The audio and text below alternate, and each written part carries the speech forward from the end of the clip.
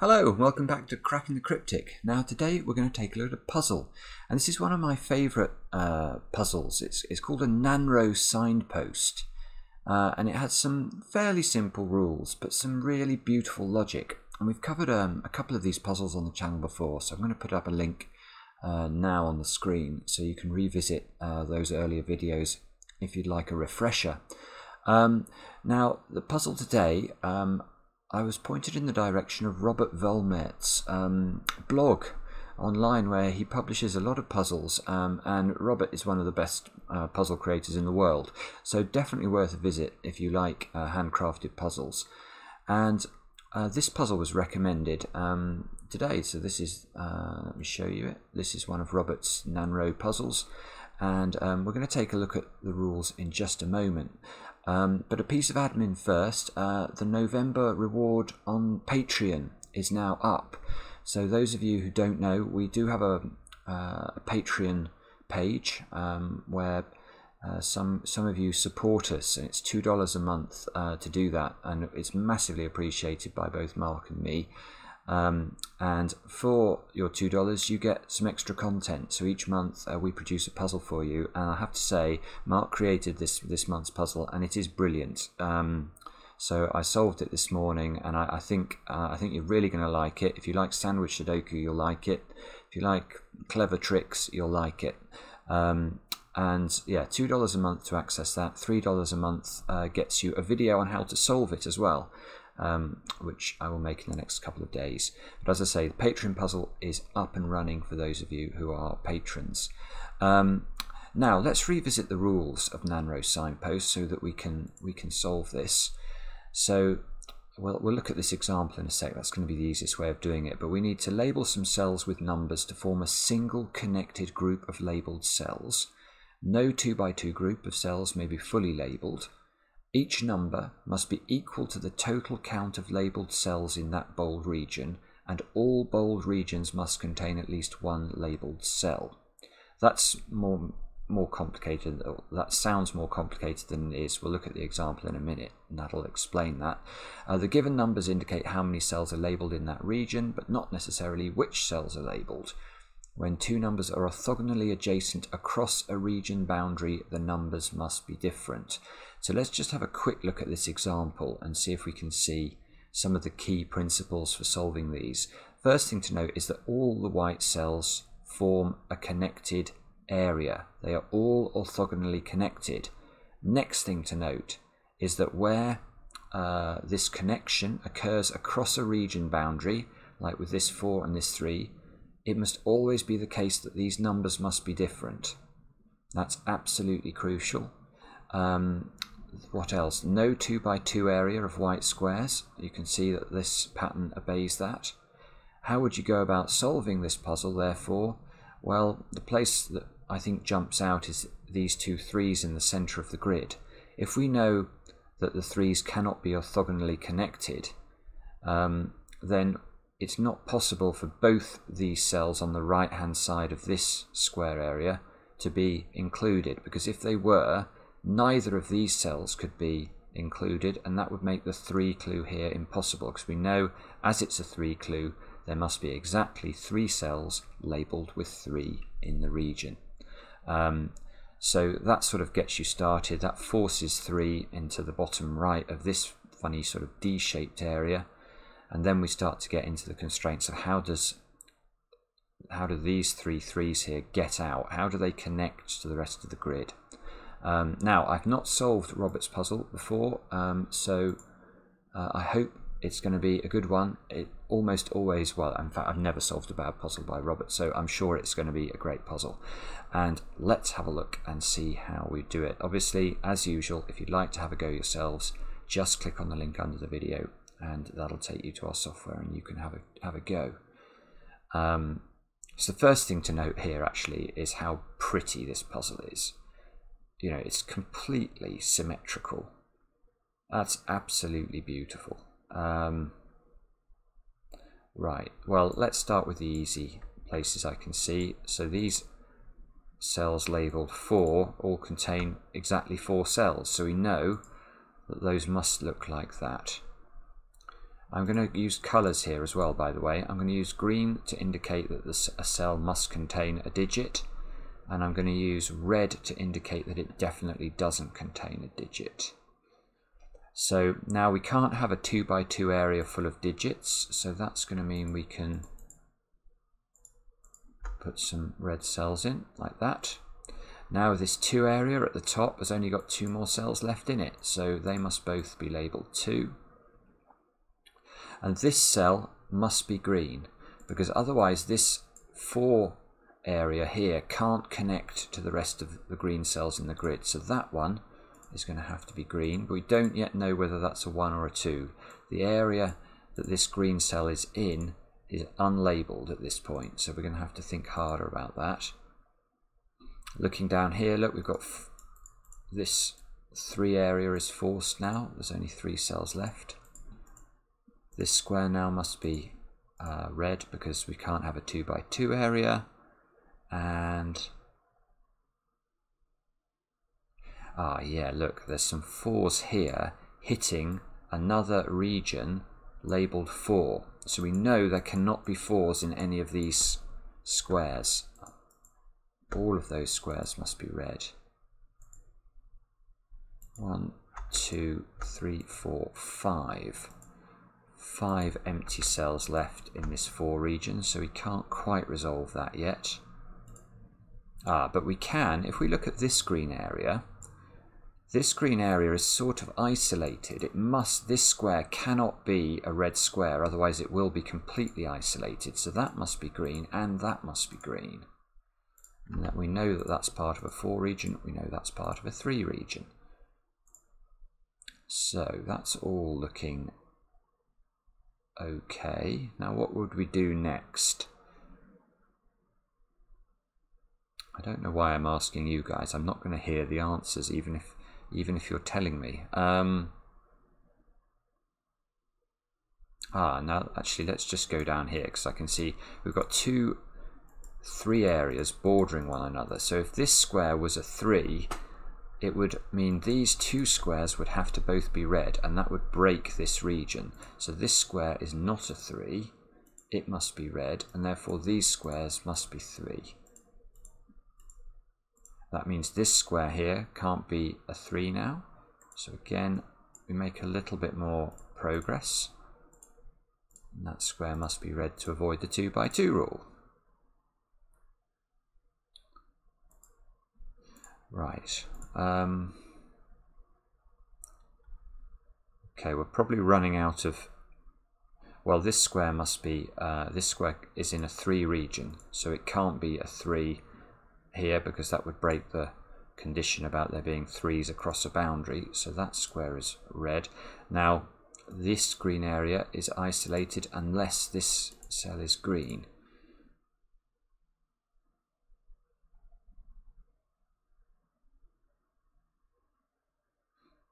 Um,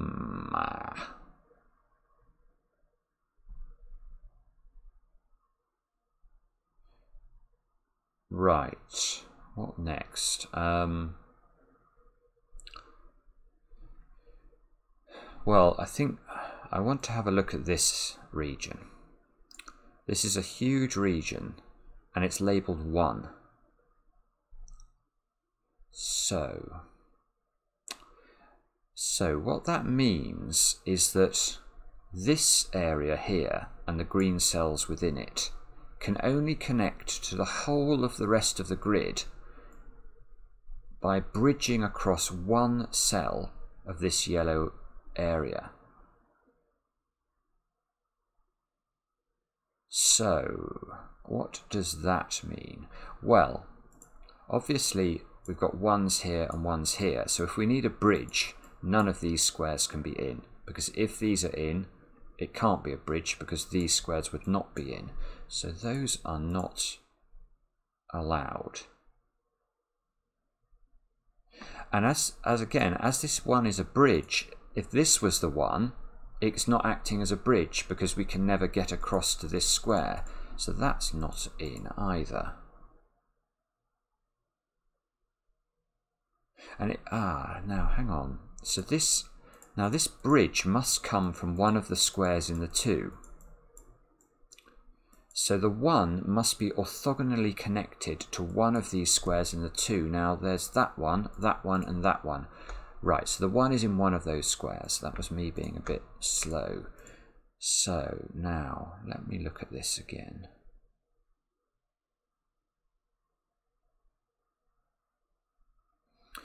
Hmm. So this this is even more interesting now. Because this green area up at the top, obviously that has to connect to the rest of the grid. Now, if it comes down through here,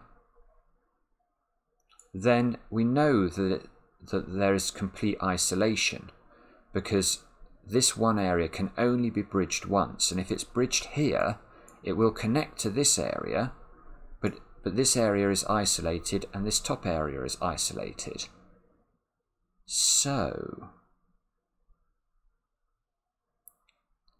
so the only way this area actually gets out is going to be it's got to come through that little gap there so all of these squares must be green. Otherwise there is a problem. So this square is a 3, that square is a 4, that square is a 3.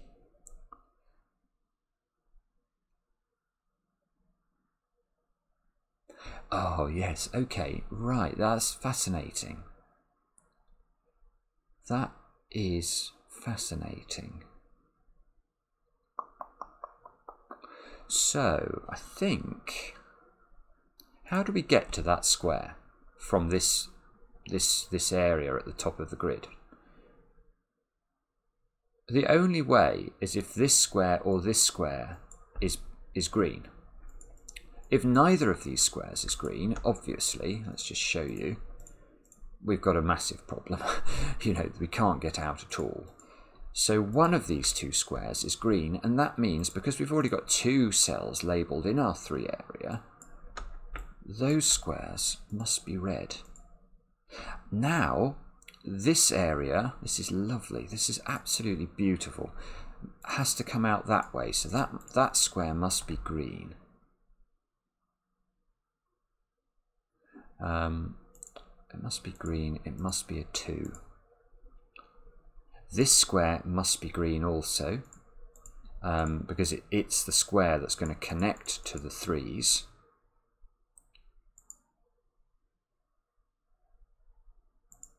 And so what now?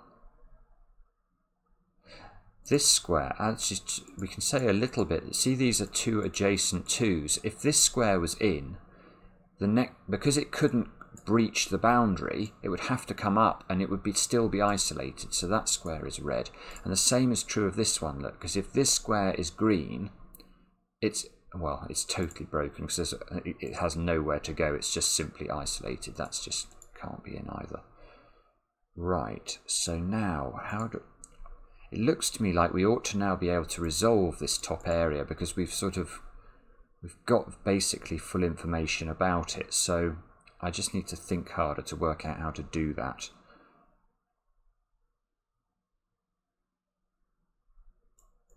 Whoops. Um, douche.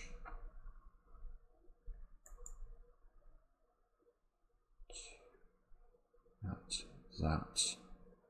Yeah, this is get this is really getting cluttered because watch what happens if this is a two. If this is a two, um, this square has to be in because this part, this this number here has to connect down, down somehow.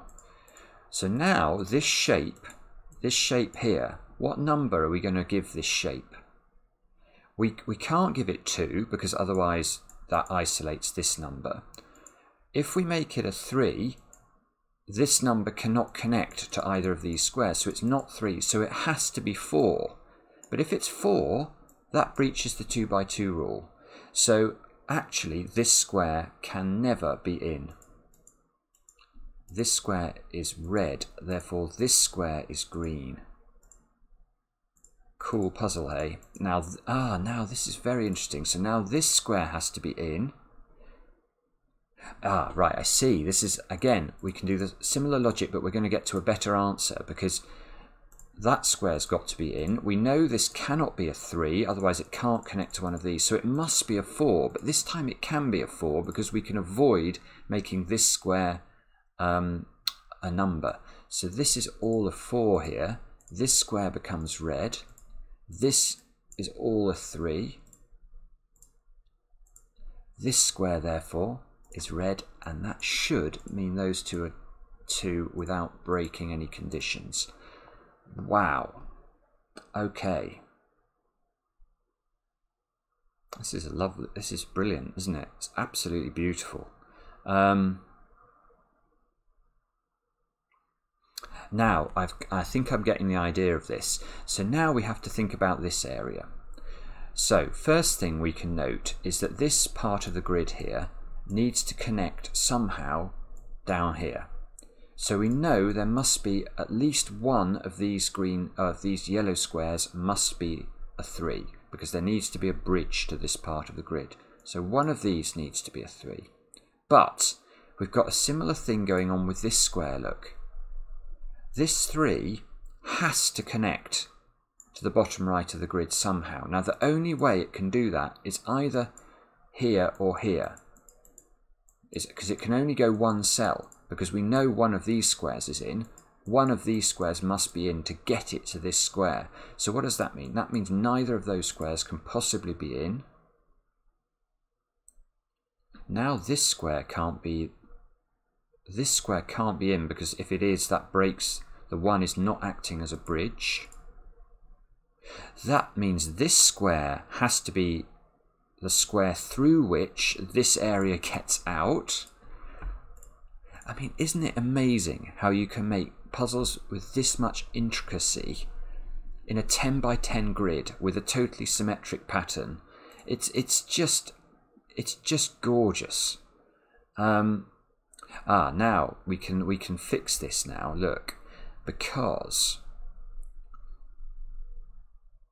if this square is in, then we can never get to across here using this one clue. So that square is not in. Therefore, this square is in. And now we still need to get to this square and we just have enough room by making that square a 1.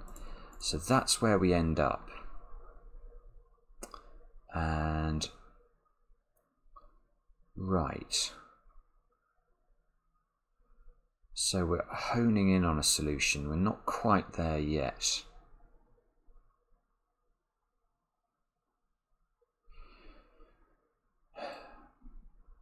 Well, let's have a think about this area. This can't be a 4. If it's a 4, then we have a 2 by 2 problem. It can't be a 3 because then it can't this area can't get out. So this area is a 1 or a 2. Now, if if it's a 1, what happens? If it's a 1, if it's a 1, it's broken. The whole puzzle is broken. Because which square am I going to select here to be my 1? This one? Well, if I try that one, these squares have all got to be red. So now this square here is the only square through which this part of the grid can get out and it's going to have to come like that and that makes this region a 3 which breaks the region boundary so that's just that's just total nonsense so the only other way that this 3 can get out is if this is the 1 but that makes the same problem happen now these three squares have to be red and again these three have to be part of uh, a 3 cage which they cannot be so this region here is a 2 region. Ah, yes. Oh, no. I was about to say something that might have been wrong. I was going to say, as it's a 2 region, this has to be a 1. But I'm not actually certain that's true. So if this is a 2 region and it does that, oh, I think it is true. Because if if this is a 2 region and this is a 2 region, you can see that because this is a 2, these two squares would have to be in, and these two squares would have to be red, and look, that breaks this again. This can no longer be a 2 region, it still needs to be a 3 region to get out. So, does that matter? Uh, yes, it does definitely matter. It means that this is a 2 region and this is a 1. Obviously this can never be a 3. So that fixes that. Now look, now look. Yes. Ah, let's just do this. 1 here. This 3 now has to come this way because otherwise this whole right side of the grid is isolated. So this square has to be green and this square has to be green. And now I think we're done. I think we've finished it now. That finishes the 3 region. That means this square is not the bridge. This is the bridge. Therefore that must be a 3 and it must be green. This square is red. This is all now connecting very nicely. Now, this must be a 2, otherwise the area is isolated. And we're allowed one more of these to be green. And you can see it needs to be this one in order to allow the areas to connect. How clever is that? How beautiful is this puzzle? Now, we've got the 4 region up here. So we need two more cells but this has got to be one of them, that's got to be the other in order to make those connect. So these two squares here must be 4, and that means these two squares must both be, firstly they must be in, and these two squares can be labelled 2. And that, I think, let me just take a quick stare at it, is the solution. What a beautiful, beautiful puzzle. Now, just to mention, some of you have noticed that if you click check on this, and I will I'll show you now, it'll say this doesn't look quite right. The, region, the reason, oh my goodness, it goes completely crazy in fact, is that um, uh, the, the, the reason it does that, ah, there we go, it is because it is built for Sudoku. So it is trying to see whether there's the numbers 1 to 9 in every row, column and region, which of course there isn't. Uh, in due course, um, once um, uh, we deal with all of the other things we're working on on the website. We, we will introduce a better checker for uh, puzzles rather than Sudoku, but that's why you might say, I got the same answer as Simon and it says, it, it says I'm wrong. That's the reason it thinks I'm wrong too. But we're not wrong and we have solved this puzzle. Thank you very much for watching. I really hope you enjoyed it. I thought that was an absolutely brilliant puzzle today and we've got some real treats for you coming up over the next few days too, so do keep an eye on the channel. Thanks for watching. Back soon with another edition. Cracking the Cryptic.